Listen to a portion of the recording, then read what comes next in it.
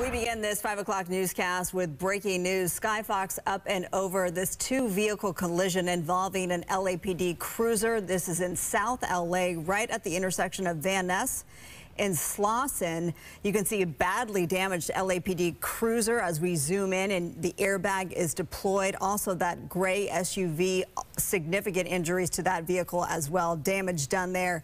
This is all because of a high-speed pursuit. That LAPD officer was tracking a DUI suspect in a BMW, a black BMW through South LA streets, driving extremely erratically. That's right. Police say that the driver was driving erratically, but also at a high rate of speed. Again, this is happening at Van Ness and Slauson in South L.A. And police tell us that the BMW driver ended up crashing into the LAPD cruiser. You can see our cameras are zooming into that LAPD cruiser at this time. A lot of damage to that vehicle.